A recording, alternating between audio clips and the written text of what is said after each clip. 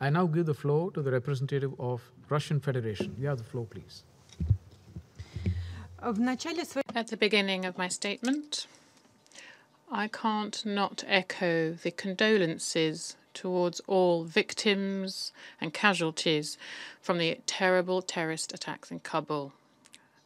It is clear that it is ISIL that President We'd like to thank the UN Secretary General, Antonio Guterres, for his assessments of the humanitarian the, the, the developments in northern Ethiopia. We also welcome the participation in today's open briefing of the, the permanent representative of Ethiopia to the UN, Taye Selassie. The Russian Federation is carefully following the military and political developments in the region. We regret that the unilateral humanitarian ceasefire announced at the end of June by Addis Ababa was broken. Units from the Tigray People's Liberation Front continue fighting, establishing control over a series of regions, not only in Tigray, but also in neighboring regions of Afar and Amhara, previously untouched by conflict. A particular concern are attempts made by Tigrayan forces to cut off humanitarian assistance routes, including their taking control of the strategic highway linking Ethiopia and Djibouti, which threatens to worsen an already complex humanitarian situation and increasing flows of refugees and IDPs. The humanitarian situation in the region remains indeed tough. At the same time, the federal government is continuing to make significant contributions towards alleviating it. We welcome the efforts of the Ethiopian authorities recently getting a humanitarian convoy from the World Food Programme through to Semera.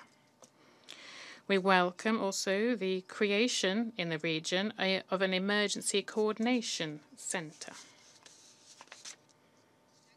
We hope that its establishment will help implement the plan to send to Tigray 100 lorries carrying humanitarian assistance every day and also resolving the situation of, refu- of Eritrean refugees who are in particularly dire straits.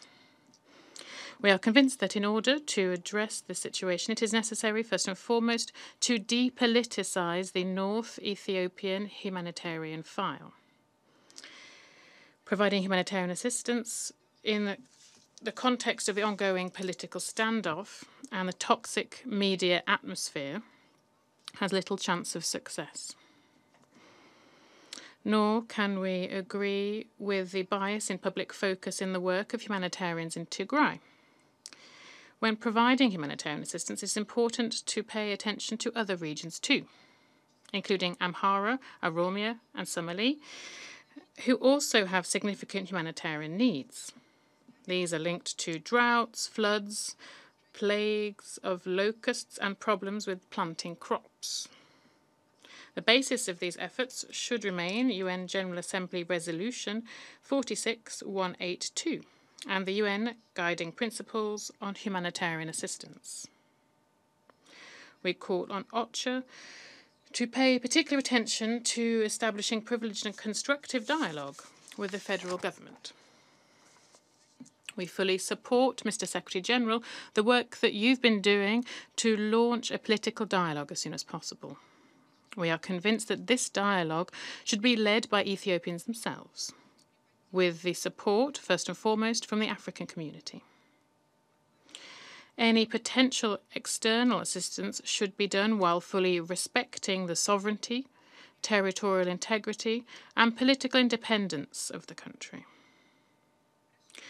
In June's elections in Ethiopia gave convincing proof that the federal authorities can unify the Ethiopian community.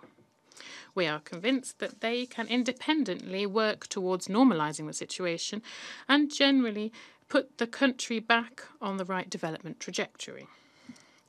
Our African partners and the international community should simply support these efforts of the Ethiopian government. We'd also note in this connection the appointment of the High Representative of the African Union and former, former president, President of Nigeria, Obasanjo. It's important to understand also that attempts to undermine the situation and also exert pressure on the democratically elected government of Ethiopia, including through adopting unilateral sanctions, will only further stoke the conflict. Equally, nor will the crisis be solved by discussing it at the Security Council.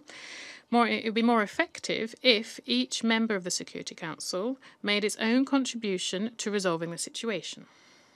The emphasis should be on quiet diplomacy and bilateral channels of privileged communication. The Russian Federation is ready to ensure this. Thank you for your attention.